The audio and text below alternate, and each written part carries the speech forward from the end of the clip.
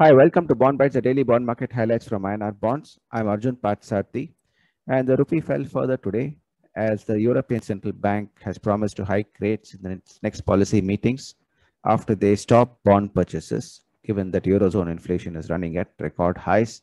We are awaiting the US CPI inflation today, and the Fed is also under pressure to contain inflation. As we all know, RBI too has sounded out about containing inflation which is the main uh, threat to the economies globally and for India at this point of time. In uh, markets today, the GSEC yields were flat. The auctions went off smoothly. Uh, did not see too much of a, a rise in yields. The uh, Sensex and Nifty fell sharply while the rupee weakened. US treasuries continued to stay high. Before download our app, Quick Invest by INR bonds for the best bonds to invest in inflation times. And uh, do not forget to and uh, subscribe to our YouTube channel if you've not done so already. Thank you very much.